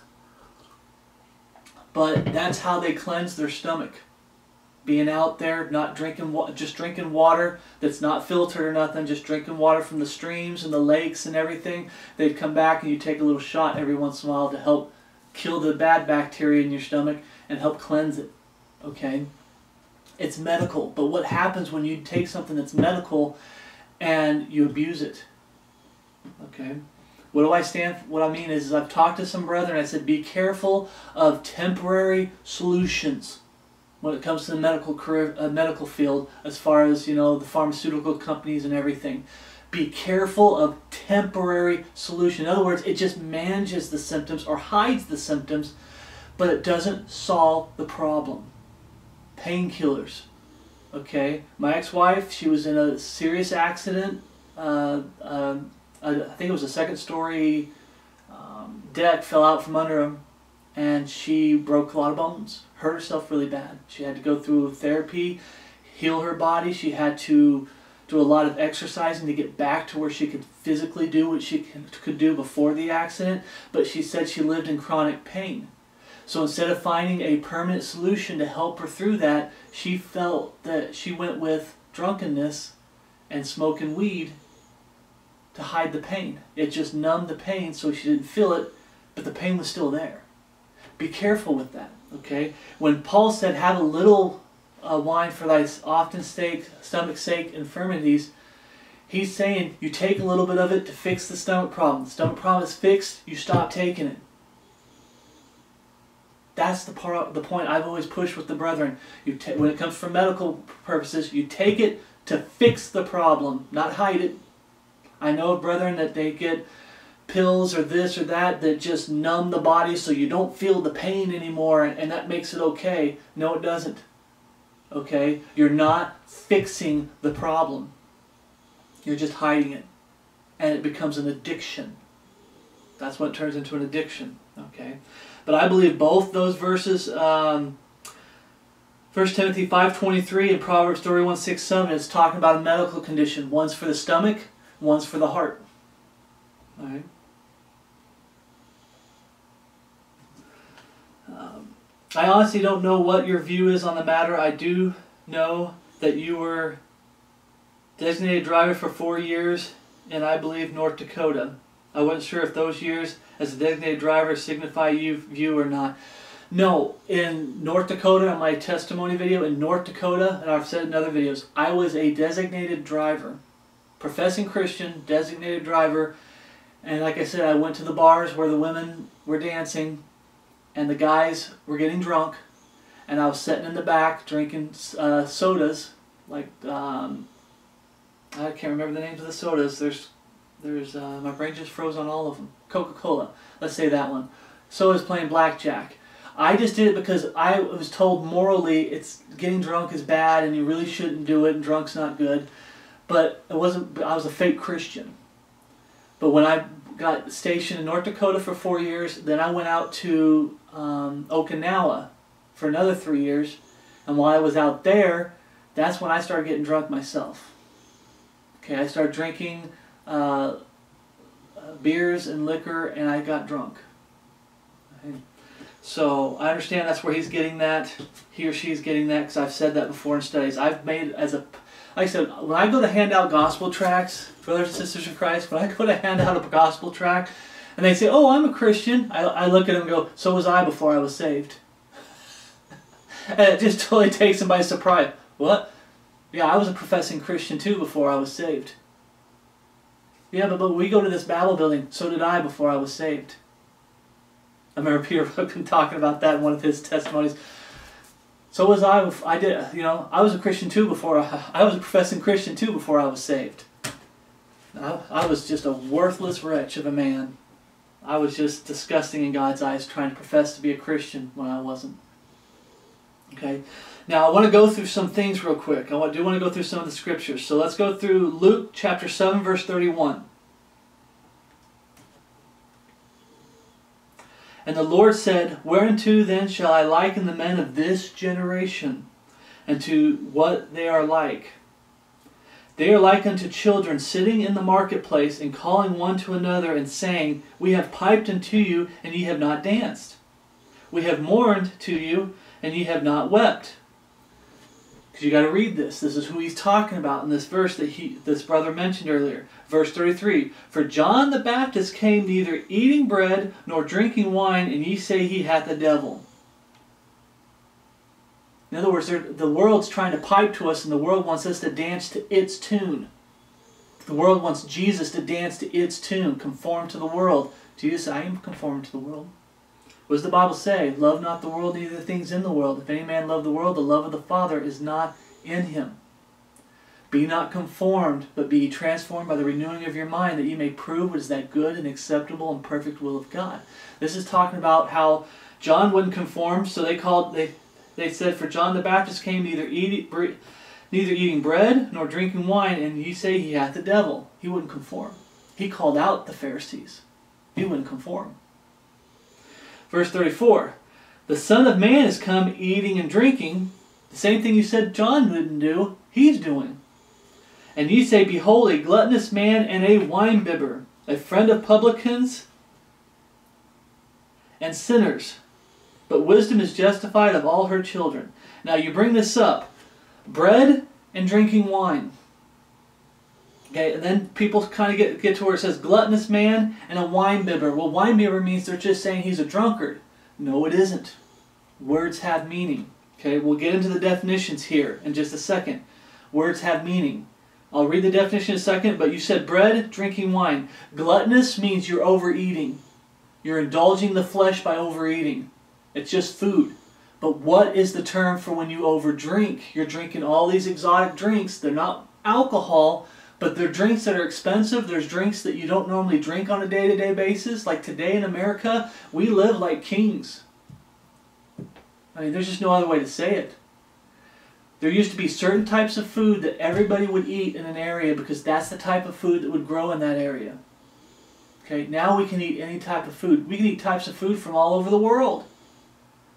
The thing about drinking wine, people didn't drink a glass of wine with dinner every stinking night.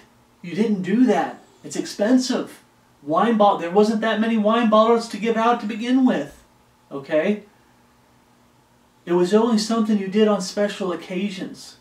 You didn't have a big feast like we tend to do as Americans when we eat our dinners and whatnot. Lord's been helping me eat less in my meals. But he's saying that you know, a wine bibber is someone who drinks a lot of uh, drinks that you wouldn't normally drink on a day to day basis. In other words, they're saying he's fleshly, he's living by the flesh. Okay? Acts 2 1 And when the day of Pentecost was fully come, they were all with one accord in one place. And suddenly there came a sound from heaven as of a rushing mighty wind, and it filled all the house where they were sitting. And there appeared unto them cloven tongues like as a fire, and it sat upon each of them. And they were all filled with the Holy Ghost, and began to speak with other tongues as the Spirit gave them utterance. And there were dwelling at Jerusalem Jews, devout men out of every nation under heaven. Now when this was noised abroad, the multitude came together and were confounded, because that every man heard them speak in his own language. And they were all amazed and marveled, saying one to another, Behold, are not all these which speak Galileans? And now hear we every man in our own tongue, not some weird tongue, known languages of the day, when we were born.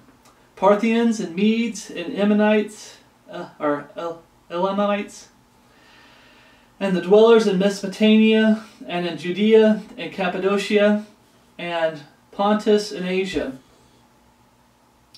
uh, Phrygia and Pamphylia and Egypt and parts of Libya, Libya, about Cyrene, and strangers of Rome, Jewish and proselytes, Cretes and Arabians. We do hear them speak in our tongue the wonderful works of God. And they were all amazed and were in doubt, saying one to another, What meaneth this? Others mocking said, This men, these men are full of new wine. But Peter, standing up with the eleven, lifted up his voice and said unto them, Ye men of Judea, all ye that dwell at Jerusalem, be this known unto you, and hearken unto my words. For these are not drunken, new wine, drunken, as ye suppose, seeing it is but the third hour of the day. New wine can sometimes be referred to wine that has a lot of alcohol, but you have that saying that when you open it up, you need to let it breathe. In other words, you need to let some of that alcohol evaporate out so it's not as strong.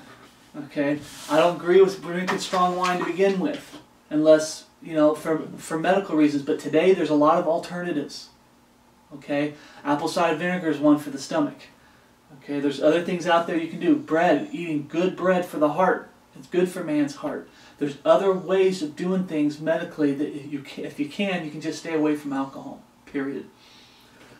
And I'll get into that in just a second. But gluttonous, remember what we read up there says, "Behold, a gluttonous man and a wine bibber calling out Jesus." I've had so many people also try to grab that verse and justify getting drinking and having fun because Jesus drank. It's not talking about drunkenness. Gluttonous, consistent in, in excessive eating as gluttonous delight that's what gluttonous is. Excessive eating. Do you ever get that bloated feeling, brother, sister Christ? Sometimes it's bad food that gives you the bloated feeling, but there are times where you can eat good, healthy food and you get that bloated feeling. What's that bloated feeling? It's your body telling you that you're forcing yourself to eat too much. You're eating too much at one setting. I've had that feeling, especially when uh, the family comes together to do one big hol- holiday uh, meal. You, that's why a lot of people go and they take naps afterwards because you overate. Gluttonous. It's gluttony. Okay. That's what they're accusing. Say uh, they're, they're accusing Jesus of. Uh, someone who's just gluttonous and just just fleshly. They're trying to make him out to be a sinner. Is the whole point. But what does winebibber mean? According to Webster's 1828 dictionary, one who drinks much wine, a great drinker. You say, well, that could be drunkenness. It doesn't mention drunkenness at all. It's just one who drinks much wine, a great drinker. And you know the verse that it gives as an example? I, it caught me by surprise at first going, why would it use this verse as an example? Proverbs 23 1. Here's the definition of wine bibber. Uh, bibber. Okay? Proverbs 23 1, if you want to turn there. When thou sittest to eat with a ruler, Consider diligently what, it, what is before thee, and put a knife to thy throat if thou be a man given to appetite. Verse 3 Be not desirous of his dainties, for they are deceitful meat. Dainties. It's something that pirate people that it's considered a really treat. You know, there was a time period where chocolate, a little chocolate bar, it was very expensive and it was considered a delicacy. Now look at it today. It's everywhere chocolate everywhere. I watched a video on how chocolate was made. It's not easy.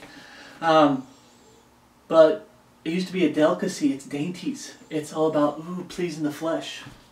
And all the rich people had, and the people high up had to have all these dainties. That's what it means by wine bibber. It's just saying that People who know the, the, the, the common person, the common man, did not drink wine left and right. They probably wouldn't even hardly get to drink wine at all. But Jesus is getting invited into this publican's house, this Pharisee's house. He's getting invited to these people, and he's being served bread and wine, and he's drinking. Okay, that's what's going on there. Uh, we just read about a, time about new wine where the Bible uses the word drunken. These men aren't drunken as you suppose. You look at the word drunken, intoxicated, inebriated with strong liquor. Okay. Or, as the Bible says, strong wine. Given to drunkenness as a drunken butler. Three, saturated, saturated. You have to look up that word, saturated, okay? With liquor or moisture drenched. Uh, definition number four, proceeding from intoxication done in a state of drunkenness as a drunken quarrel. Drunken. Okay? That definition is not in winebibber at all. Why? Because it's not about alcohol. It's just about him drinking fermented grape juice that is, there's a limit about it. And only the people that have money, the, the, the people that are high society in this, have it. Okay, for the most part. It was an attack on Jesus Christ to say that he was fleshly, he's a sinner just like anybody else. They called John the devil because he called them out and wouldn't conform to the world. Jesus did the opposite of what John did, and they still called him out. Why? Because it doesn't matter what you're doing, if you don't conform to this world, they're going to call you out. Period. If you don't go along with the system, the system that's falling apart and it's on its way to hell. The world's way is Satan's way. It's contrary to the Bible, and it's always leading people to hell. Okay? That's what's going on there. So please, please, don't fall into the trap of trying to use any verse in the Bible to justify drinking, just drinking, okay? There's times where it says, like I said, I believe it's for medical reasons. Okay? Now, that being said, here's my stand on it as a whole. Is it okay? Because this day we have wine everywhere. Like I said, it used to be something that you had very rarely. Special occasions, and that's it. Okay? When you were sick, you had the stronger wine okay, to help out with your stomach. But we don't need wine, strong wine for our stomach. But here's what I see, brother or sister in Christ, and to all the brothers and sisters in Christ out there to answer this question. Look in the world today. As we get closer and closer to the catching away of the body of Christ, is drunkenness becoming less of a problem or more of a problem? More of a problem. I mean, you can get alcohol anywhere now. They have alcohol in abundance everywhere. People are getting drunk all the time. Okay? Uh, it's just wickedness abounds in these last days. I've talked to brothers and sisters in Christ that have struggled with drunkenness and God has overcome it in their life. It's best just not to have alcohol, period. Okay? Paul said, If meat make my brother to offend, I'll eat no meat while the world standeth. I'll eat no meat while the world standeth. Did Paul eat meat? I believe he did. But the point is, is alcohol has gotten so out of control today, and there's so many brethren out there with testimonies. I'm one of getting drunk, taking it too far, getting drunk, that it's best not to have anything to do with alcohol, period. I don't want to tempt the brethren and put a stumbling block in front of the brethren, and, and do, in so doing, sin against the brethren, which is sinning against God. I don't want to do that. So my thing is, is I just stay away from it. Period. Okay. There's other ways to help out with the medical conditions, with you for your heart and for your stomach's sake. Okay. There's other ways to take care of that. You don't need alcohol. Okay. Is it is it a sin to have a glass of wine? That's uh, fermented grape juice. I do that. I do just grape juice or the fermented grape juice.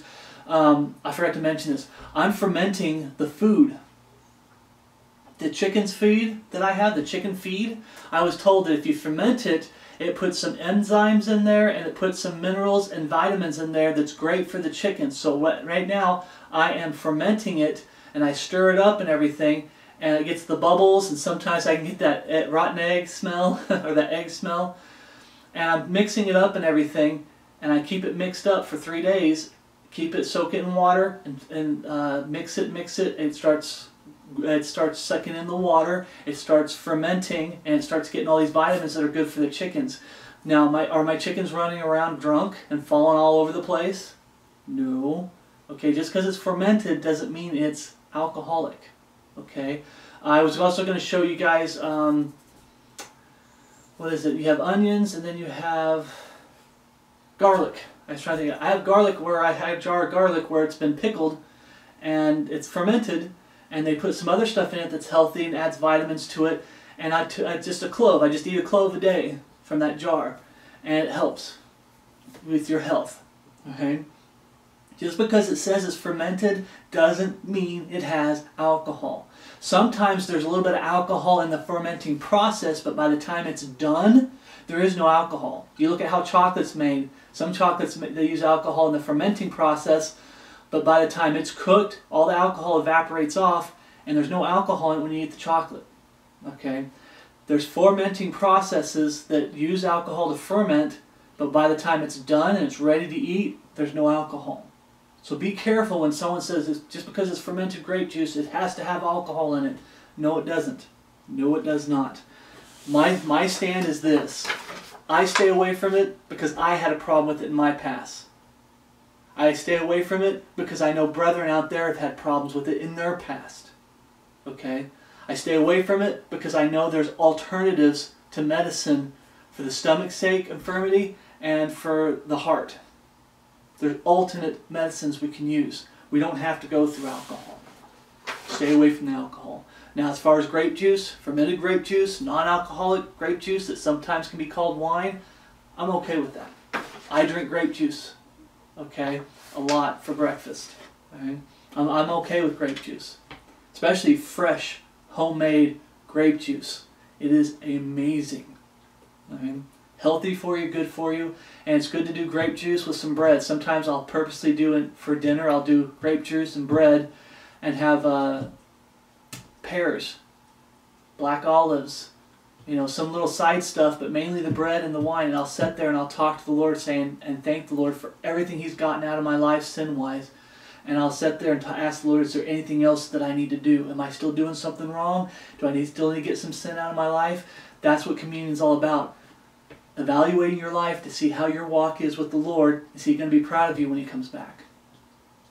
So, that's my stand on it. I don't touch it. I'm not going to call someone out as, as a, if they decide to take a little glass for their stomach and they take one glass, put it to this, they're done. It fixes their stomach. They're good to go. And they keep going. Am I going to down, down a brother or sister in Christ that does that? Absolutely not. If they take a little bit for their heart's sake and then they put the they put the wine away because their heart's doing good, it's doing just fine. It's not something you constantly do. It's just something you do temporarily to fix the problem and you get back to your walk with the Lord. I'm not going to down a Christian for doing that. I'm not going to say they're in sin. I'm not going to break fellowship with them. The problem is is when you start doing it all the time. Most people can testify that today it's become a recreational thing. But people that have gotten into medicines that, that are supposed to help numb the pain and help out with the pain, they get addicted to it. So even when the pain is gone, the problem's been solved, they keep doing it. That's the problem. Okay? Drunkenness is a sin. That's what we need to focus on. I've, I'm sorry, I've had bad experiences with professing Christians that get drunk a lot and they try to use those verses to justify that it's okay to drink when what they're really saying is, is they're using those verses to justify their sin, to justify drunkenness. When you're dealing with someone who's a drunkard, you focus on drunkenness as a sin. When you're dealing on dealing with medical stuff about using wine for the stomach's sake infirmity, for your heart, then just deal with that. You don't have to bring them. sometimes you have to warn them not to get drunk. Don't get addicted to it. But you mainly focus on medical purposes. Well, you don't have to do wine if you don't want to. You can do apple cider vinegar. Okay? Uh, bread is really good for the heart. There's other things that are good for the heart. Okay? It has to do with what you have access to. Okay? So, like I said, I'm not going to sit there and say someone's lost or break fellowship over someone who has a glass of wine for his stomach's sake, for the heart. I'm not going to do that. However, I will break fellowship with somebody professing Christian, whether they're saved or not, if they're getting drunk left and right. They're getting drunk, and then they try to justify it. They get drunk and then they try to justify it. I will break fellowship with someone like that. Okay, that's justification. Bible talks about how you go and you correct that brother. Then you have two before two or three witnesses. Then you have the church go to them, and they refuse because they're they're wrong in the brethren when they're going out there saying, "I'm a Christian, I'm a Christian," and they're drunk and flat lying flat face. My ex-wife would get drunk, and that was the times that she loved to preach the gospel. When she's drunk, okay, she's offending the brethren and has wronged the brethren by getting drunk and pretending to be a Christian and trying to preach the gospel while drunk. I'm talking about drunk. Okay? That's where you go and talk to them, and they don't repent, they don't get that drunkenness out of their life, you break fellowship with them. Sorry about that, just there at the end, got a phone call. Um, brothers and sisters in Christ, uh, that's it for this series of for this very video. not really a series, but we're going to be doing a series. But this question and answer video, that's it we have for this. So remember, if you have any questions you want to ask about the Word of God, okay, um, I have the channel, I'll link it down again, that there's a question and answer intro where you can ask questions, okay? So I want to just end this by saying grace and peace from God our Father and our Lord Jesus Christ be with you all and my love for you which is in Christ Jesus our Lord. Thank you for watching.